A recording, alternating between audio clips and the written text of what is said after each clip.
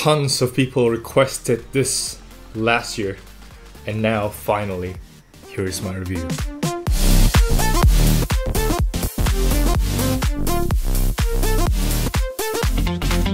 Selamat pagi! Good morning everyone, Kenneth here and today we will talk about the Tronsmart Spunky Beat. Last year, this thing caught everybody's attention because of its Qualcomm 3020 chip and a very affordable price tag.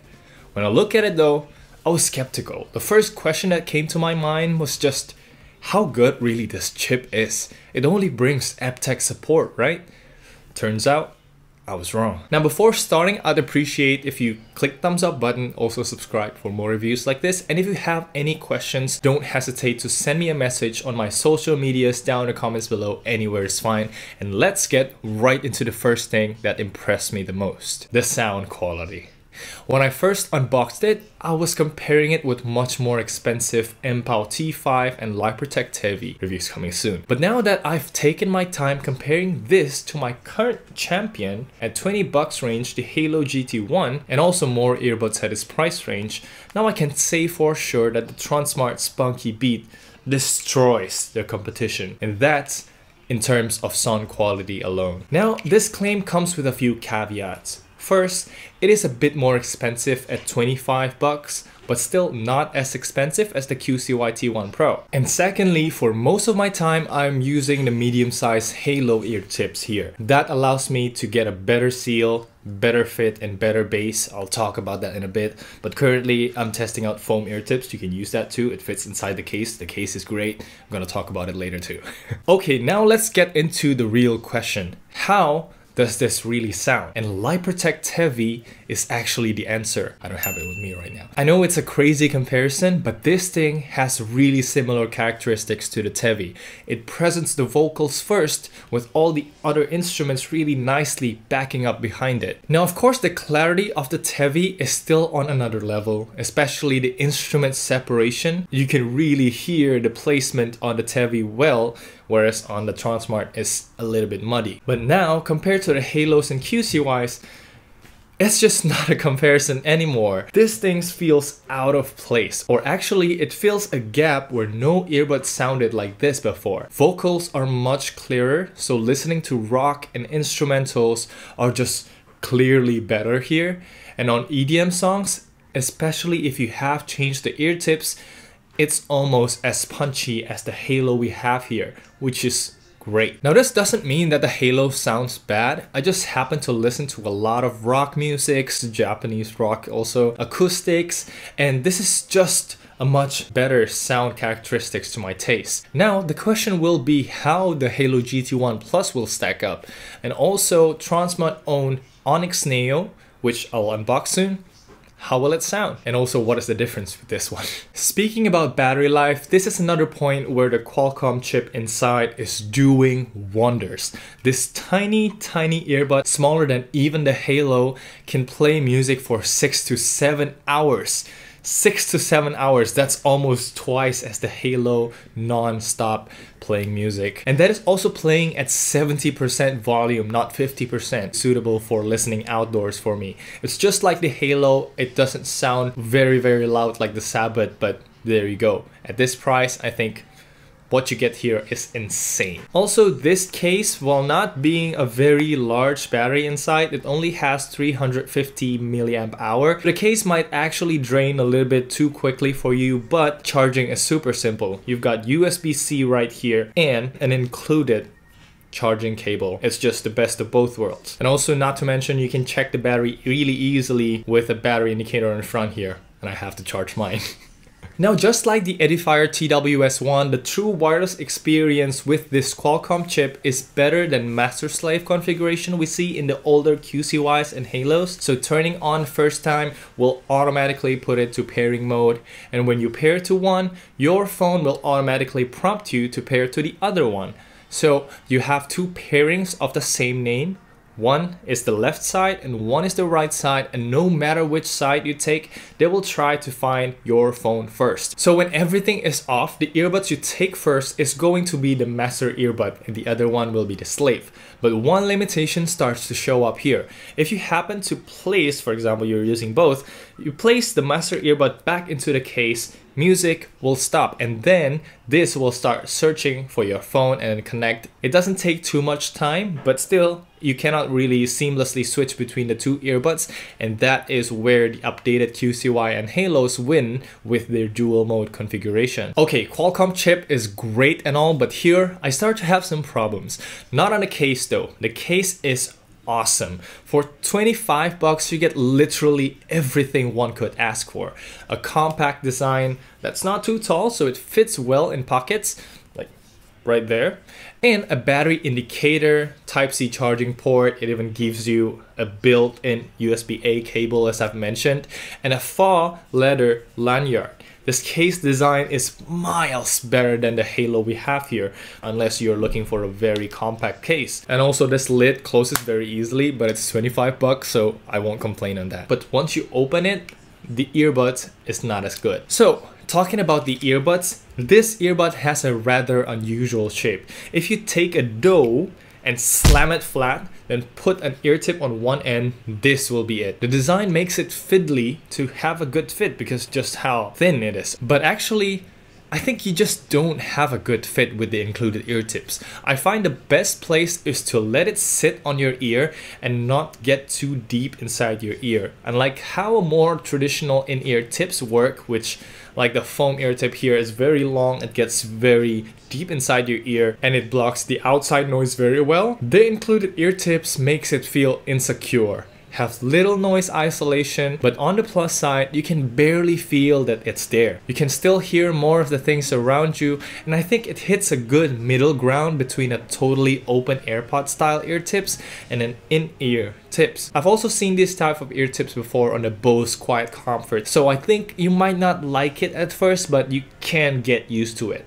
For me though, I just put my Haylou ear tips on. You can get any of the ear tips around your house and stick it here, it'll most likely work and it makes this thing even better because of the better noise isolation makes the bass even more punchy. Also, if you're the foam tips type, you can put on your 5mm ear tips here and the case will take it like it's nothing. You don't have to squeeze too hard, it just fits right there. And for the price of this thing, I just can't believe what I have on the case here.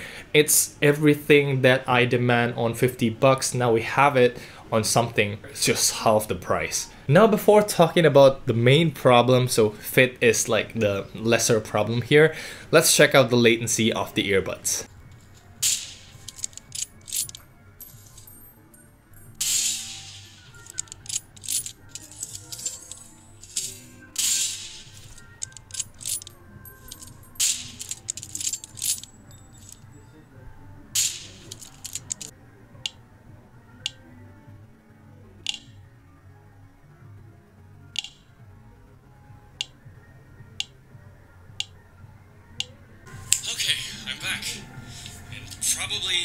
I've compared this to many more earbuds that probably I will need to. We have the balanced earbuds here, we have the slightly more expensive Sabbat here, we also have the bass heavy, and the reason why is because I found that the Tronsmart Spunky Pro is actually bass heavy. Actually, I won't call it bass heavy. I think it's like balanced but with more of a bass boost than Haylou. Okay, problem time. What have I not mentioned yet in this video is controls. The good news is it has volume control.